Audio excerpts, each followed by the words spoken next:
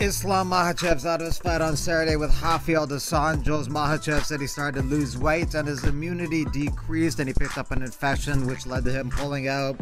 So RDA needs a new opponent and it may be difficult to find a guy who's willing to fight him on just six days notice, but RDA has an idea.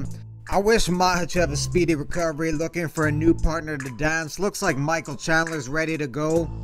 Your move Chandler versus RDA is an interesting fight to be a former champion in the UFC versus a former champion in Bellator. Chandler was the replacement fighter for the Khabib and Justin fight on October 24th, but his services ended up not being needed for that card.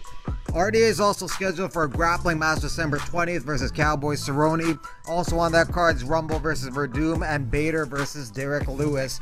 One other recently changed main event is Darren Till pulling out his fight with Jack Hermansson, who now takes on Kevin Holland. At least five guys turned the fight down. Uh, so, uh, but there was one guy that was willing to fight, and that was uh, Kevin Holland.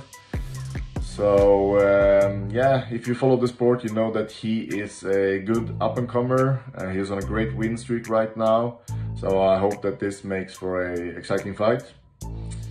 And uh, yeah, I'm the best that I've ever been, and I'm really looking forward to make a statement on December 5th. So make sure that you guys uh, tune in. Thanks for watching MMA Digest. Link to buy this shirt in the description of this video.